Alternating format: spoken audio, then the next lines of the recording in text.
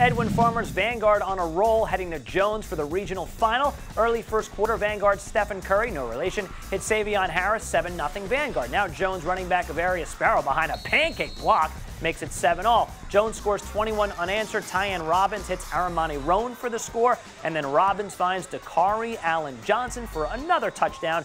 Jones puts Vanguard away 37 to 14. And that brings us to the Orlando Health Defensive Performance of the Week. Jones had four interceptions on the night. That is 15 on the year from the Jones secondary. Jean Baptiste and Dominic Hill had two picks apiece. You fellas turned in the Orlando Health Defensive Performance of the Week.